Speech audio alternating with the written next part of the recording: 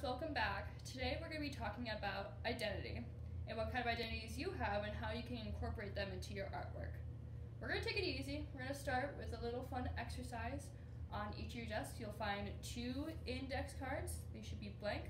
Why don't you take a moment, collect your thoughts, and think about what two identities you have. Write one on each index card. For me, I wrote that I'm a student. I'm always learning. And I love learning. It's like my favorite thing, honestly. And my second identity is that I'm Jewish. This is a cultural and a religious marker in my life that has been present since I was born and will probably be present when I die. Once you are done writing down your identity markers, we're gonna put them down on the desk and we're gonna take the stickers that are also at your desk and we're gonna walk around the room and we're gonna put a sticker on each card that you identify with. So you aren't putting a sticker on your own cards. We're gonna walk around the room and put stickers on other people's cards that we have commonalities with. So why don't we get started? We're gonna pretend we did that because I don't have an actual class. Um, at the end of this activity, we're going to go around the room and we're going to talk about um, what we had in common with other people. We're going to look at the cards. We're going to see who had more spots, who had little spots, what surprises us. Um, and I think we'll find that we all have a lot more in common than we might have originally thought. Thinking about how we can incorporate our identities, any aspect of our identities in art might be daunting to you, but I assure you it has been done before. Many artists have grappled with their identity, and I think for a lot of artists, we put our a little bit of our identity in every piece that we make. We're gonna go over four artists that tackle some sort of identity of theirs or of others in their artwork. So, hence identity in art. First, we're gonna focus on Deborah Kass. She is a Jewish American artist. She uses Xerox and printmaking. She's been inspired by Andy Warhol. The thing that she didn't like about Andy Warhol was that he focused a lot on the glamour and like uh, rigid beauty standards that Hollywood projected. He made a lot of prints about the glamorous Jackie Kennedy, who, um, as you may know from your history class, was the life of one of our presidents, John F. Kennedy. Deborah Kass put her own twist on the on the Jackie Kennedy prints by using Barbra Streisand's image in place of Jackie Kennedy, titling it Jewish Jackie. Barbra Streisand was one of very few Jewish actresses that were displayed by Hollywood as Kass grew up. So she wanted to embody her in her work um, for her, it was probably the first time she'd seen someone that even looked like her in Hollywood because even though you know she was white and there was like a lot of white people in Hollywood um, her features like maybe her nose or her cheekbones or her, the type of hair that she had weren't really considered uh, a part of the traditional beauty standards of the time she incorporated them into her work our next artist is Lorna Simpson. She's an African American artist, and in her piece Wigs, she tackles the theme of hair. In her piece Wigs, it is a actually as you can see, it's like a bunch of several different pieces. So she used lithography to produce these pieces, and she printed them onto felt. Felt is a material with a texture similar to hair, so she really, you know, hit home the idea that this piece is about hair. Hair is really important in the African American community for a variety of reasons. Um, how you wear your hair naturally or um, in protective styles really says really is a statement about um, fashion. Like it's a fashion statement and it's like an important health statement as well. I think like certain hairstyles, like I said, are protective. Like they literally like how you can do your hair will protect their hair and it's very important to them. And unfortunately, because of racism in our country, black people are often discriminated against for wearing their hair naturally or in protective, healthy styles. So this piece called Wigs is about the different hairstyles that black people have and um, how they wear their hair. And um, I found that this was really interesting. I think it's really poignant to like today's culture and atmosphere and how black people are still treated to this day just for like how they wear their hair. Mike Kelley is another artist that explores identity through his work. He does things in a very interesting way. So he takes photographs from yearbooks and newspapers and he reconstru- reconstructs a whole scenario surrounding that photograph reference. He films and creates music for the scene as well. Here um, is the first of his series from an extracurricular activity projective reconstruction, a domestic scene. Um, as you can see, there are two men, and one is very well dressed and one's a little disheveled, and they're in a small room. So he created a, a story of two gay men, one comfortable with his sexuality, one not, um, dealing with the confines of their small space together.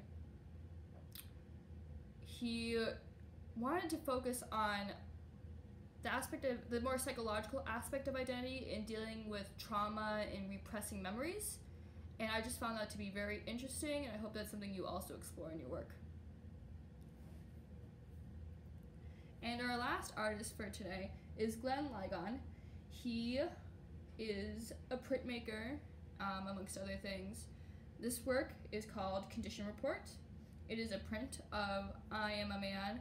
I found this phrase to be very poignant. Um, in the civil rights movement, many African American men held signs that said, I am a man, or am I too a man, or am I not a man too? So this brings back, this harkens back to that civil rights demonstrations and um, the plight of like the African American community in this country. So I found that also very interesting. For your project, you don't have to be activisty. I know all these um, pieces might seem that way. I just want you to dig deep and find at least one aspect about yourself to represent in your painting. I want you to think about it. You can use the identity, one of the identities from the identity cards. That's part of the reason why we did this exercise to get you thinking and to give you something to fall back on in case you can't come up with anything. What you're gonna do next is, um, after I give my demonstration, you are going to work on your composition in your sketchbook. You're gonna do research on your cell phone. You're gonna look up people, iconography, rituals, symbolism, objects, people, places, things that relate to that aspect of your identity that you want to represent. So this is a self-portrait I made um, back when I had blonde hair. This is my example for this project. You absolutely can do a self-portrait if you want to. That's why I have this example here. It doesn't have to be a self-portrait if you do not want to do a self-portrait for that project. We will do a self-portrait later on this semester, but you have the option to, you know, practice the figure and form and familiarizing yourself with your face. Um, doing a self-portrait is a great way to tackle your identity and how you perceive yourself, but it's not mandatory for this lesson. You can pick, um, like I said, you can pick an object, a place, a person, maybe an iconic figure from your culture, or you can display yourself doing an activity. Um, related to your identity. It's really open. It's really up to you and how you want to display your identity. And like I said, it only has to be one aspect. It can be more aspects. It could be a collage of aspects, but it only has to be one aspect. So I like to start off with just a simple palette. Um, I picked an object to show you while I'm demoing how to paint. I have titanium white, sienna, in cadmium yellow. I always, for me personally, I always use white in all my paintings. You will probably most likely use white in most of your paintings as well. And I usually, I usually like to use burnt sienna um, to sketch out my underpainting. I don't like, and I want you to avoid, I do not like using pencils to sketch on the canvas because it smudges and it makes your paint gray and it just mixes with the paint and it just makes it a little unpleasant um, for this demoing, I'm just going to be sketching out for you on the canvas a menorah, which is used during Hanukkah in my faith, which is a holiday. Hanukkah is a holiday. And um, so that's why I chose these colors, because they're kind of, they kind of match with like But a menorah would be like, so that's that's something that's a part of. You have to think about like what colors you want to use and how you're gonna use them and where you're gonna use them. Like it's it's a process to figure out how your composition is gonna turn out. For me, color is always a big part of my composition.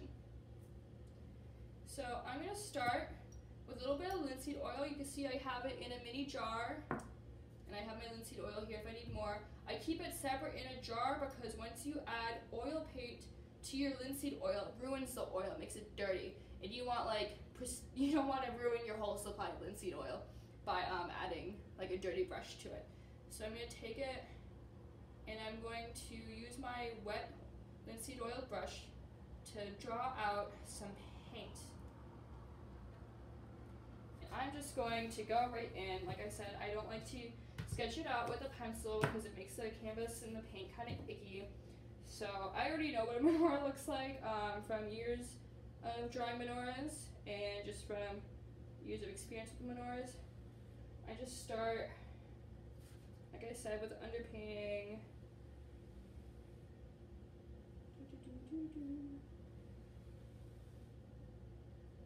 I do it kind of lightly. I don't exactly like measure it out. Um, not with objects like this, although it is symmetrical. So if you have a symmetrical object and you want to measure that out to get it even, that's by all means. Just some things work better for others, and like I said, if I had to measure, I would be using a pencil. I just don't like doing that. You can use a pencil, like I'm not going to take points off for that. Um, just be aware of the effects it will have on your work. And we have a little little stem going down here. Nothing crazy. This is just an example. Doo -doo -doo. And there's a candlestick in the middle. And this is really just the skeletal bare bones of what I'm making.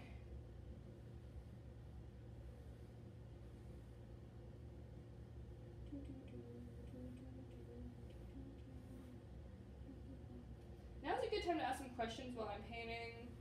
If you have any, Riley, my one student. Or not, you don't have to ask, ask any questions. Why are you using red? Like I said, I use burnt sienna for all my underpaintings. Um, frankly, it's just the color I was taught to use for underpaintings. And so I'm just used to doing it by now. Um, it's like a good, I feel like it is a good color because it's like, it's pretty neutral. It's a little dark, but I thin it out with the linseed oil. It's pretty neutral. It's not bright or flashy. And when you paint on top of it, um, it adds like a nice warm glow, I think. So that's why I like to use it. You can use a different color for your underpainting for sketching out if you choose to use paint instead of using pencil.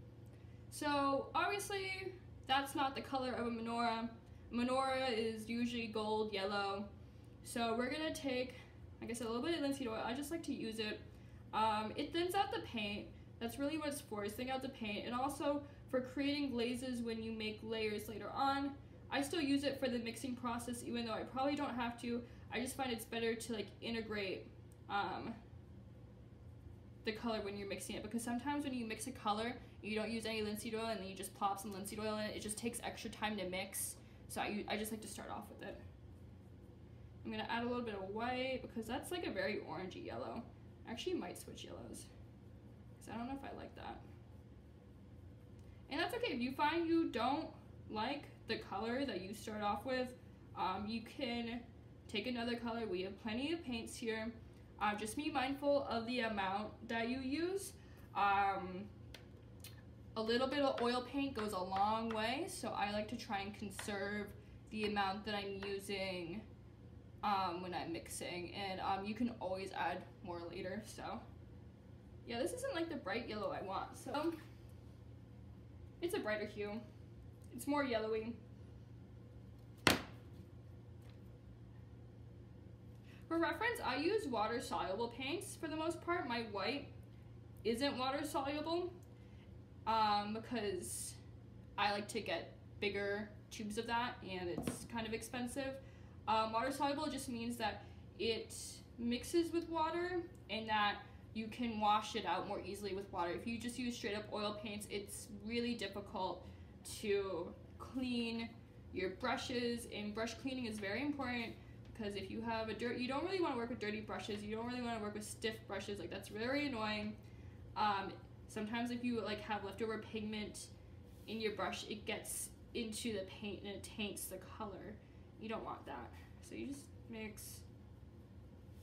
Sometimes you bring the pigment over to the white because um, usually only need a little bit of pigment to mix with white. There's a nice bright yellow. So I'm just gonna go ahead and like apply it. You can start kind of anywhere. Um, I usually like to work generally because I'm right-handed left to right so I'm not smudging anything. I'm sure lefties will agree that you like to work um, right to left. So I'm just gonna try and hold this so that the so Riley can film. Yeah, just plop it on there. And oil painting takes a while, takes a lot of time and patience. Um, as you can see, like the color mix, that's also part of the reason why I chose raw sienna as my under, for my underpainting, because I knew I would like how it would look with the menorah, and um, and how it would mix. So you, you have to be patient, and you won't be painting like this. You'll be painting in a much more convenient position. I'm just doing this for your benefit so you can see what I'm doing. I know I said I like to work like to left, but like right now I'm on this side and it's just easier. So yeah, it's good to be comfortable when you're painting because when you're uncomfortable, it's you're focusing more on like the uncomfort and about like how you're uncomfortable and about how um to like stop your hand from shaking or stop the canvas from shaking. But you know, you'll have an easel and you'll be sitting in front of it like this and you'll be in a pretty comfortable position and you'll just be happy as a clam. Okay class, that's all I have to show you. So now, I like I said, I want you to get your sketchbooks out, I want you to get your phones out, and I want you to do research for referencing, and um, I want you to get sketching. And I will be popping around the room, ask me any and all the questions that your heart has, and I will do my best to answer them. I'm very excited for this project. I'm very excited to see how you guys express yourselves. If you want um, any guidance, I'm here, of course. We're to start painting next class. So that means by next class, you need to have a composition in your sketchbook for reference. So that means um, if I wanted to do a self-portrait, I would have this figure of myself drawn in my sketchbook and ready by the start of class tomorrow. Okay? Thank you. Bye.